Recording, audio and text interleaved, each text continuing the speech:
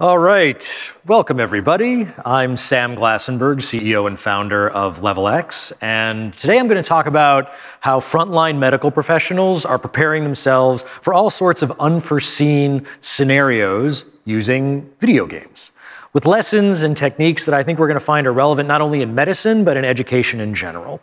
And the bottom line is that when doctors play video games, society wins. And this session is going to be a series of examples and demos of just that. Um, so, first off, a little bit about me. Um, I've spent my career starting actually in video game development at companies like LucasArts and Microsoft. Um, and at Microsoft, my job was basically, my team's job was to predict and plan the next 10 years of video game graphics technology. And this is where I really got to see the sort of huge gap between the state of the art and what we're doing in entertainment and what we're seeing in, well, specifically medical education. So let's talk about video games. So my team's job at Microsoft was to figure out how we go from characters that looked like this in a video game at the turn of the millennium. Eh, it looks kind of realistic, but still you can see the triangles, to characters that look like this. So today I can go to my favorite video game store and for $50 I can buy a copy of Call of Duty. I've got a dozen soldiers on screen at once. I can zoom into the eye of one of the characters and this is the level of detail with which we're creating a character's eye in a modern video game. Let's contrast this, all right, now to the state of the art in medical training. Let's sit down in front of a $250,000 eye surgery simulator. Looks like it fell out of a gumball machine. For those of us that play video games, this is what? Uh, 1992. Here, the eye is the entire focus of the product. Here, the eye is an afterthought to make the character a little more engaging. The bigger challenge is that eye cannot capture the rare and difficult scenarios that occur during eye surgery. Now, this gap, the visual technology gap, that's the gap you can see. The bigger gap is the gap you can't see, we call the neuroscience gap. Because the video games industry over the last three decades has distilled an incredibly deep discipline that we've tested on billions of players. We figured out the neurochemical recipe for driving learning at scale among any audience. Expert game designers know how to hit that perfect balance of reward and frustration, of challenge and skill to trigger dopamine releases in the brain at the right frequency to maximize learning and maximize behavior change. And it's incredibly effective. Case in point. So the Obama administration spent many years, approximately two to three billion dollars, to try to stem the obesity epidemic. How do we get Americans just to stand up, just to just, just get off the couch and go for a walk? All of these meritorious efforts eclipsed within 48 hours by a single video game that had 40 million Americans up and walking for miles. Now, I don't know what the situation was in downtown San Diego, but in downtown Chicago, where I'm from, it was a zombie apocalypse for three weeks. And there are no kids in downtown Chicago. That's because the average uh, player of Pokemon Go, their age was in, the, uh, in their upper 20s, early 30s. Now, this example is well known, but every video game is doing this. It's driving user behavior, whether it's getting you to go for a walk or pick up your phone every day to play or invite your friends. Video games drive behavior change and they drive learning. There's a reason why half of these players can name 80 Pokemon characters and give you their entire backstory, but can't show you where Switzerland is on the map. You're welcome. That's because video games are incredibly good at driving learning as an indirect or unintended consequence of play. So at Level Ex, we're closing this technology and neuroscience gap. We're taking the top video game designers, engineers, artists from the video games industry, the experts who've made Call of Duty and Mortal Kombat and Words with Friends, and we've teamed them up with hundreds of physician experts and contributors across every major medical specialty to use this technology and design to achieve good for society, right? To capture the greatest challenges of the practice of medicine as video games. All these game designers, all these artists using their skills to achieve social good. We have over 750,000 medical professionals playing these games on their smartphones, earning continuing medical education credit while they cut and cauterize and inject and diagnose on a totally interactive virtual patient. I will now show you an example. Um, those of you who know me uh, know that I always like to start a demo with a colonoscopy, because that's the best. Uh, so I'm just demoing this here on my phone. Um, I'll start out with Gastro Ex. Everything I'm showing you is available for free in the App Store, so feel free to download it yourself if you don't believe me. Uh, so we have a few hundred thousand medical professionals playing this game. It's filled with dozens of rare, difficult, unforeseen cases, the kinds of cases that you can really only train for on a live human being. Um, and you can just play them here on your phone. You can earn CME credit. Uh, so here we'll do this one. Okay. And again, I'm just, this is this is my phone. So ignore any text messages that I get during the demo. Uh, so here, this is not a, just an interactive video. This is a totally interactive virtual patient. What do I mean by that? Well, this patient, this patient squishy. The tissue moves. I can grab anything anywhere and it behaves just like it would in real life. So here in a routine polypectomy, I need to find all the precancerous polyps. They hide behind folds. I got to push tissue around to find them. Here I've got one that's out in the open, so I'll just grab it with my forceps and remove it. But what I don't realize is this is a rare scenario where the polyp embeds on a blood vessel. So when I remove it, I trigger a bleed inside the body. So here we have full 3D computational fluid dynamics running on a cellular phone, you know, that thing that drops your calls all the time. Um, and so now I need to spray water, try to stop the bleed. The patient just, just dilutes the blood. We got to take more drastic action. We'll do audience choice. Argon plasma or epinephrine? Really? Plasma. All right. Good call. We'll use our argon plasma coagulator, cauterize the wound. Excellent choice. Objective achieved, bleeding stopped. Good job, everybody. Now I've got this mess of blood, uh, polyps hiding in this sort of mess of blood over here. You don't want to watch me find, find them under there. It's a totally interactive virtual patient. I can cauterize anywhere. Hippocratic oath doesn't apply. Um, the tissue behaves realistically until eventually it causes so much damage you fail the case. Um, okay. So this is, this is again sort of one example of using video game technology for good.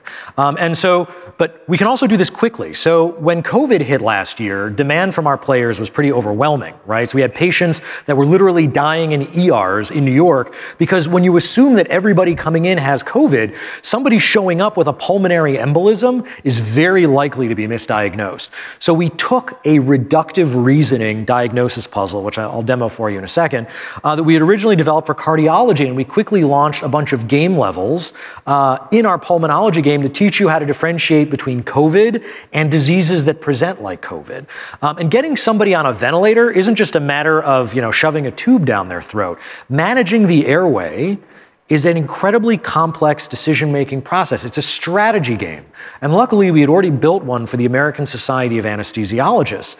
Now, the rules actually all had to change with COVID. If you followed the standard airway guidelines from ASA on a COVID patient, you were likely to damage their friable airway. And you could actually aerosolize the virus if you follow the guidelines for how to oxygenate the patient. You just put everyone in the room at risk.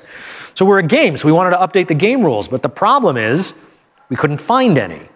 The first that we could find were actually in Italian because the Italian anesthesia societies were the first ones to deal with this. They had dealt with COVID first. So we updated our game using the Italian guidelines, and then we updated them again um, from C, uh, with the guidelines from CDC and ASA when they caught up. So I can show a quick example of, of one of these games. Here we'll jump into, we'll jump into Airway. Um, and so here, this is a, you know this is an example game. This is a strategy game, and this is of course you know there's a lot less 3D here. Um, but we'll go over, and again, you can play this on your own if you want. Uh, my first patient presents, he doesn't have COVID, so we'll jump through him quickly. But this is, a, this is a strategy game where you're presented with a sequence of patients, so you can practice on dozens and dozens and dozens of different patient scenarios and try different approaches. So this patient is COVID negative, so I'll just intubate him quickly. Guidelines say if you try and make an attempt and it, uh, with a technique and it fails, try again. And then now we start get, getting harder and harder, more difficult patients. So this patient's COVID positive. You can see her oxygen saturation's or already low.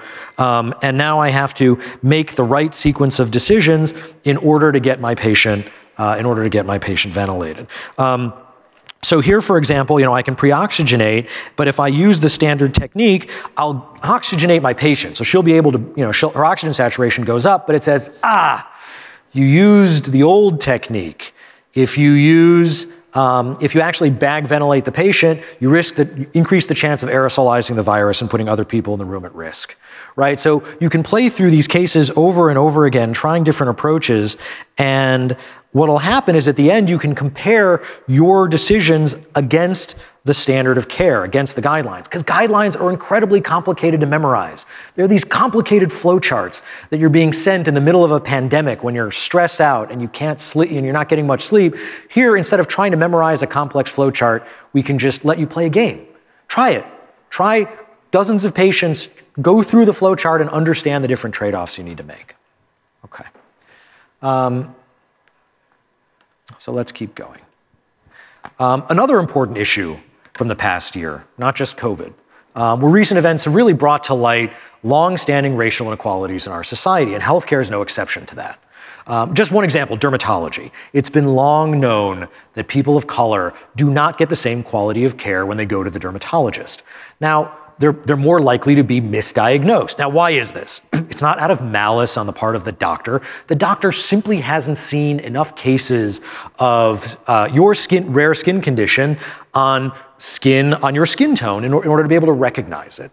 It's not his or her fault they don't see enough patients of color in their practice. And the literature, like the reference books, there is like a total dearth of reference images for many, many, many skin diseases on skin of color. Now, games can actually solve this problem. So our artists and engineers at Level Ex built upon some of the best skin rendering technology, some of this from the games industry, some of the stuff you saw at the beginning. And we created a pipeline, a tool set that allows us to generate any skin disease on any part of the body on skin of any color.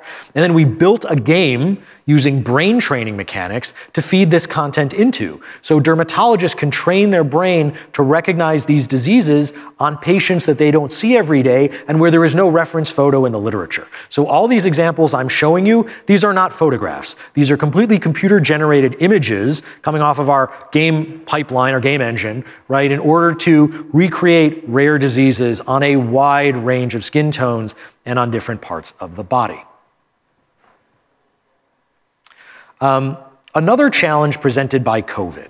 So in-person um, in-person training in medicine basically came to a complete and screeching halt uh, in a lot of areas. So cadaver labs, one of the main ways that we train on new surgical devices, um, were completely closed. Same with simulation centers, training centers, right? Places where teams would come together to train on a mannequin or a, or a simulated patient.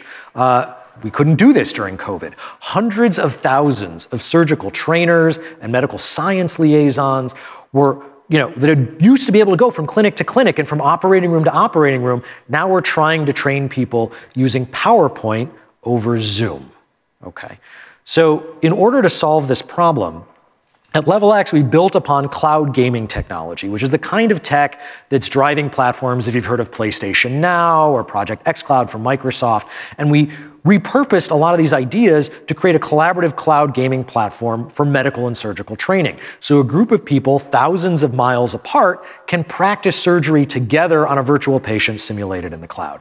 Now the internet connection here at the show, if you haven't noticed, is pretty terrible. I'm having trouble checking my email, but you know, we'll give it a try.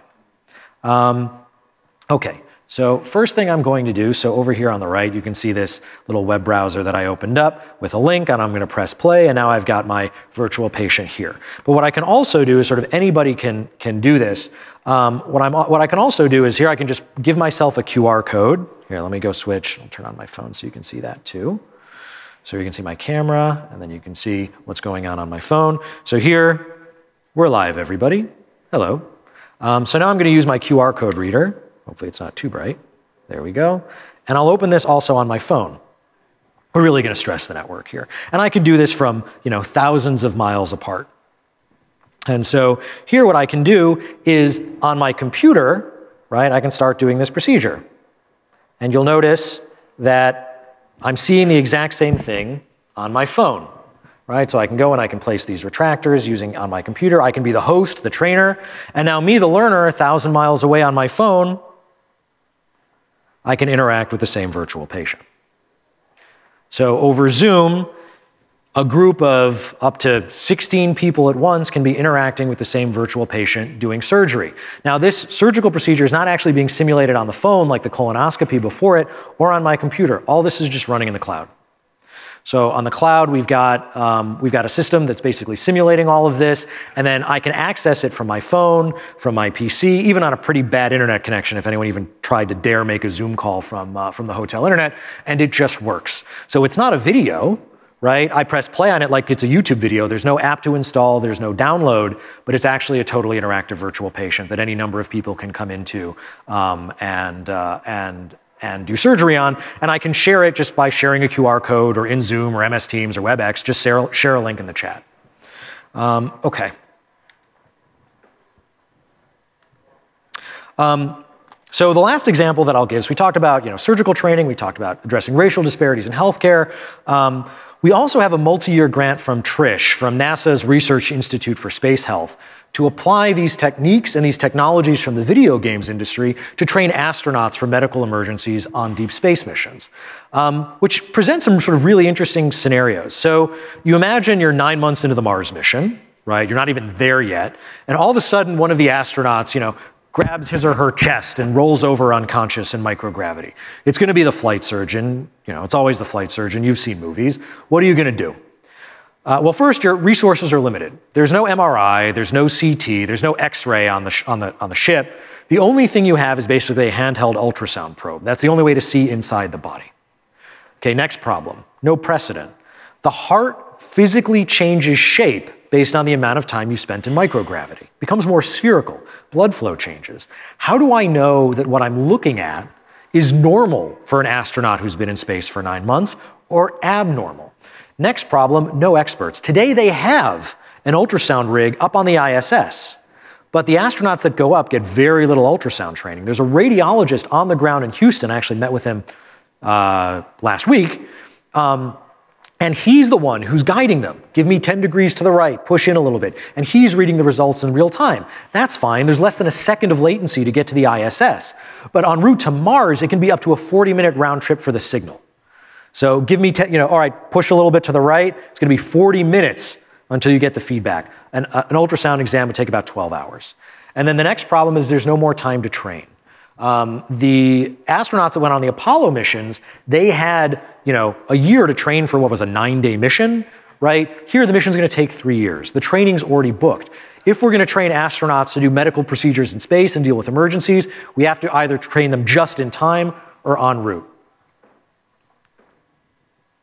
And so what we've been working on is we've been working with NASA to use all of this technology and all of these game mechanics to train astronauts for medical emergencies on deep space missions that are going to take place later this decade. So in these examples here, we're actually using game technology and game hardware to simulate ultrasound. Right? The things that I showed you in the colon and you know with the with the knee, this was all under visible light. But we actually use the same technology to recreate what procedures would look like under ultrasound, really with sound waves or under, uh, or under X-ray. So bottom line, when doctors and when astronauts play video games, it's a win for society. So hopefully, you know, we've had the short 20 minute talk. We maybe did about four or five demos. Hopefully this talk inspired you to think about ways that video game technology and design can be used to achieve not only educational objectives, but really help society as a whole to fight pandemics, to address racial disparities and bias, and to eventually get ourselves to Mars. Um, so thank you very much. Uh, I've actually got to run right after the talk to another meeting, but my email address is right up here, so feel free to reach out if you have any questions. And uh, thank you very much.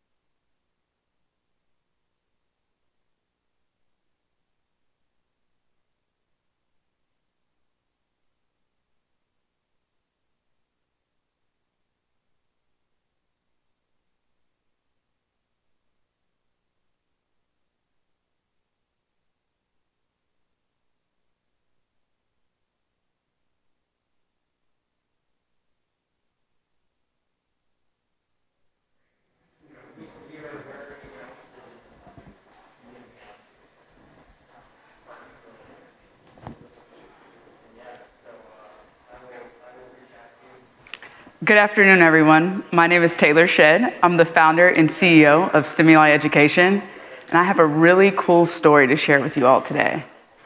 So let's rewind back to March 2020 when most of us got the same announcement that public schools were going to shut their doors and students were going to end up on a really long spring break. My company is based in Dallas, and I have a partnership with the Dallas Independent School District. And that day I'm going through, I'm actually driving in the car, and things are flipping through my mind like, okay, I know the district has a plan to distribute Wi Fi to every student in the district. They're already ahead of the game there. I knew that they had a plan to make sure the devices were one to one and they just had to get them out to elementary school students. But what they did not plan for is what happens when students need to get online. So today you're going to hear a story about what the Dallas Independent School District, Dr. Hinojosa, and the Dallas Education Foundation came together to do in order to accelerate learning and to reform the classroom and change it from the way that it's been over the last 100 years. So, welcome to our educational metaverse. Our goal with this platform is to build a strong community by exponentially improving the student learning experience. Oftentimes in education, we're about measurable outcomes, and oftentimes you're just trying to get to the next data point, and you're not trying to say, what can we do to actually meet students where they are and to drastically improve student outcomes? And that's what we're aiming to do. Now, if any of you have ever tried to sell a product into education, you know one of the first things teachers, administrators, and anyone will ask you is, is this adding time to my teacher's day or is this saving time? So again, back to March 2020, I had this conversation with Dr. Hinojosa and the Dallas Education Foundation. They said, okay, Taylor, do what you need to do. So my team went to action and we built a full virtual school district that hosted all of Dallas ISD's summer programs. So all those great things you all found out in the fall uh, with virtual learning where it was actually synchronous, where, oh my gosh, now all the students go on mute or um, they get really bored on Zoom after a long time. We had already discovered over that summer. And what Dr. Hinojosa said is, I need you to think a little bit bigger. So the thoughts you'll hear today and the action you'll hear today is just that it's bigger. So uh, we started talking to different organizations like the Texas Education Agency, other school districts, and we most importantly, we talked to parents, teachers, and students. And what we found were that you can't solve the student engagement problem until you solve the amount of time that it takes for teachers to do the most simple task in the classroom. So the three problems that we're looking to solve here are how do we empower students by giving them a learning experience like unlike any other? How do we integrate applications that teachers are using every day in the classroom in order to save them time? And then how do we amplify data for how our students are performing so that a teacher in real time can make better decisions versus every six to nine weeks when those assessments are taken? So I'm so happy to introduce to you today a platform called Education OS. It's an operating system that connects the way our students, our users, the hardware, and applications all work together. This has never been done before, but I want you to think about one simple thought. What if every teacher in America learned to use one simple application that connected to thousands of other applications that their school district chose to use? It's possible.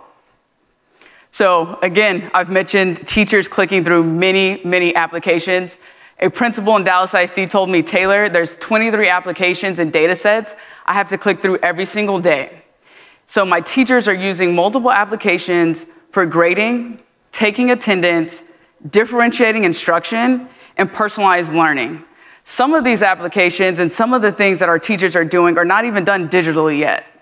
They're meeting in person, they're going over data, they're pulling how our students need to be accommodated in the classroom from binders. So with EdOS, we're seeking to change this. And as you can see, if you know anything about user interface design, the idea is that you take three clicks to get to the task that you want to do. We're taking attendance from something that's 30 clicks to one to two clicks.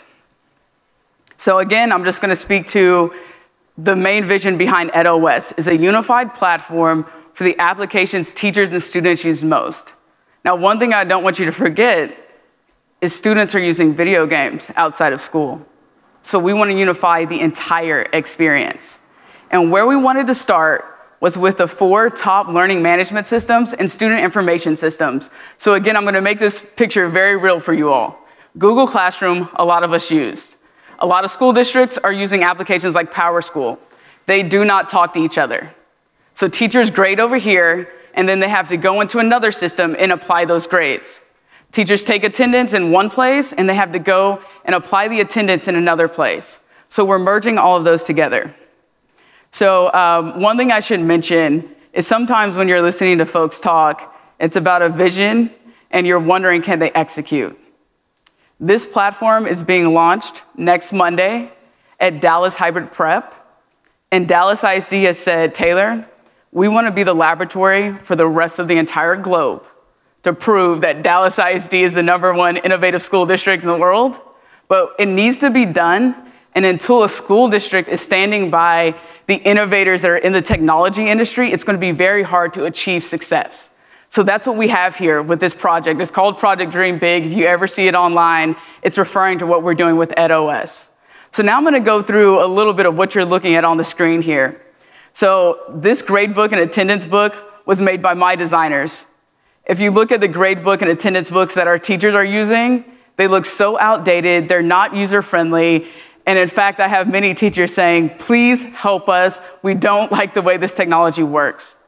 So our application is pulling existing lesson plans from Google Classroom and loading them into a student gamified interface. I'll show you a demo in a second.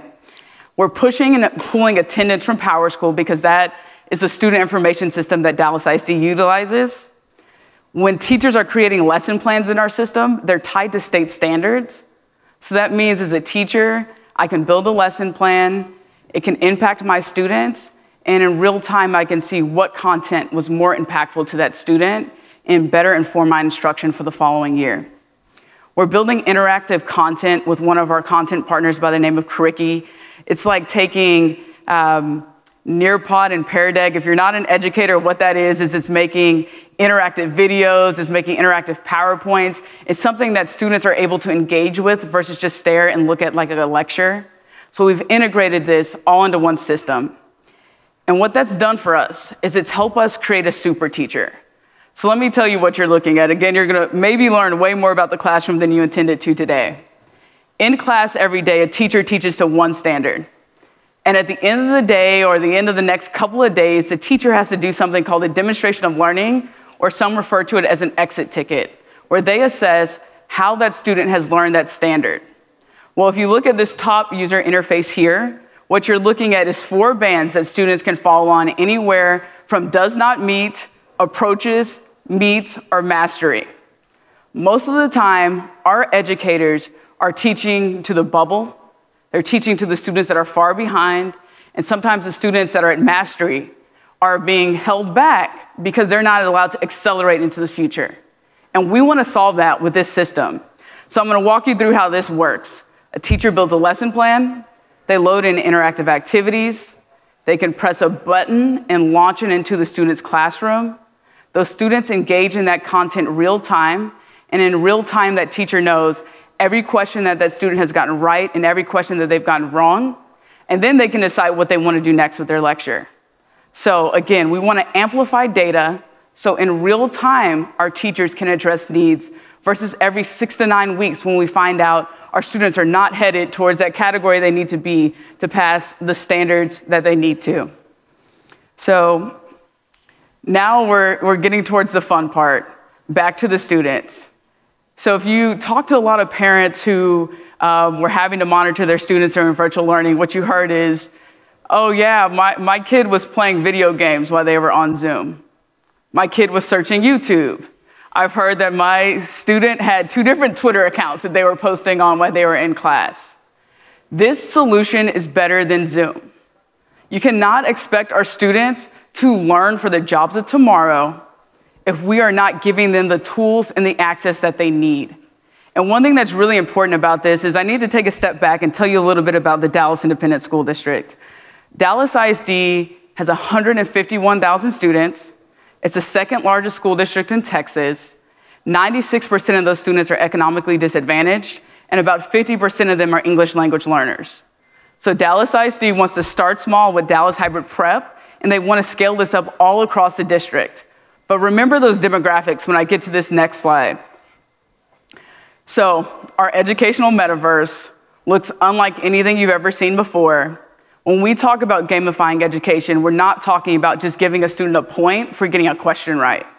What we're talking about is a student being able to select their avatar and their skin color. That's very important as well. They can walk through this world, and when it's time for them to get to class, they don't have to figure out how to get to class. A teacher presses a button and they're launched from their game world right into their classroom. They engage in class within their avatar in a virtual conference that their teacher shows up in. And again, as a teacher launches an app, now the student isn't having to press tab to go into Khan Academy and then log in. Through single sign on, they're getting right into the activities that they need. And again, the data flows right back to the teacher to give them what they need in real time. But there's something else really unique about this model when you put students within a video game and give them avatars in a world to play in. Every time a student turns in homework, shows up to class on time, helps a friend with a task, engages in social emotional learning or workplace learning, they're awarded with points. And then the student can take these points and upgrade their avatars. They can use it for building tools within this game world. They can buy real estate. They can design sneakers and sell to their friends. They can learn about the economy, things right now that are not available in our classrooms. It gets even better. So on the board of the Dallas Education Foundation is this wonderful gentleman by the name of Jim Keyes, who used to run 7 Eleven and Blockbuster. So let's say he knows about innovation. And uh, Jim said, Can we make this where every time a student earns points, they get a micro scholarship, similar to how RaiseMe does? So now imagine a student from a low income school district, instead of having the thought that I'm gonna go into construction because that's what my family does, having the thought that wait a minute, if I study a little more, I can earn a little bit more points and I can fill up that bank account, and now college is accessible to me. Again, this sounds like a really big dream, and it is, but we are making it happen in Dallas ISD with the Dallas Education Foundation, and we're not doing it just for Dallas, we're doing it for everyone across the globe. So, you might be wondering, Taylor, how are you doing this? This is a big project. Are you doing it by yourself? The answer is no. We're working again with Dallas ISD, Dallas College, multiple industry partners, different curriculum providers, and I'll tell you, we want to integrate with as many people as possible. So if you have an application that's interactive, if you have content that's going into our classrooms, we want to make it just as easy for students everywhere to access your content in a way that's learned, that's engaging for them. So you might be wondering what's next. One, um, Dallas ISD has 100 industry partners, and those industry partners are anybody from American Airlines, Microsoft, IBM, Southwest Airlines, Bell Helicopters. I could keep naming a few.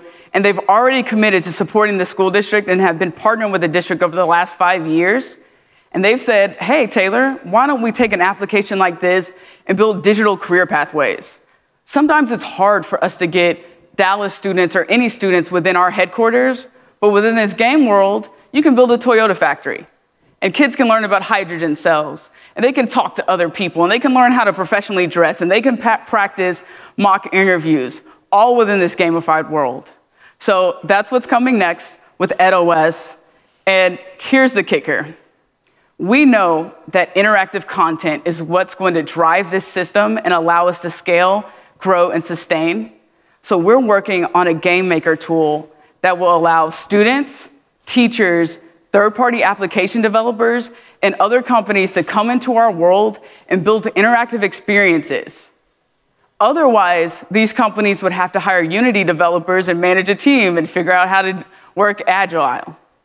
But instead, we're gonna make a visual tool just like Roblox, or for others, think of YouTube and what YouTube did for creators. And we're gonna make it possible for students to build their own learning experiences and to be empowered with their learning. So imagine as a student, my homework assignment is to go in and build an interactive experience teaching another student about the Million Man March from Martin Luther King. And then another student who might have a hard time grasping history is able to walk through and talk to Martin and talk to other people and get their perspective. Immersive, engaging. It's never been done before, but that's what we're doing. So if you want to know what success looks like, we will know when we are successful, when students and most young adults are earning a livable wage. That's what we're after here. My first slide said we want to build communities by driving the student learning experience. That's exactly what we're focused on doing, is driving this data point over a long amount of time. We're in it for the long haul. Other data points that you'll see on here is increasing attendance, which increases revenue to the school district. We want to increase the number of workforce credentials that students are earning within this system. We want to make sure that we're increasing the number of application integrations we're doing. We're not trying to do this by ourselves. So now I'll get to the fun part of the demo.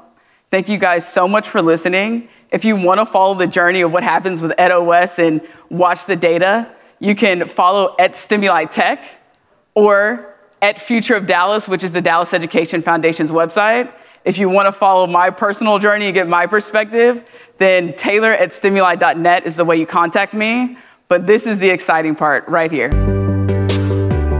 With EdOS, teachers spend less time on administrative tasks like grading and taking attendance and more time on facilitating and personalizing great instruction. Now it's time for our quiz. As soon as you're done, class is dismissed. Our system automatically calculates grades and sends it back to the student information system and saves our teachers a tremendous amount of time. They can launch their video chat or any of the new interactive materials into the student's classroom. Students use our avatar creator in order to select their attire, skin color, and hairstyle to represent themselves the exact way they want to in this virtual environment that enables them to connect and and collaborate with friends, visit immersive industry partner experiences, and learn in a much more engaging way far superior to today's traditional classroom. Sophia can access her homework and assignments conveniently through her personalized game menu. In this example, Sophia missed class yesterday and there's no makeup packet for a teacher to create. If Sophia clicks on the class tab, she can access yesterday's past lessons, recorded lecture, and assignments. Today class will be going over absolute value and piecewise function. We know students love to communicate and collaborate with one another. The world and the invisible learning experiences we can offer students is limitless.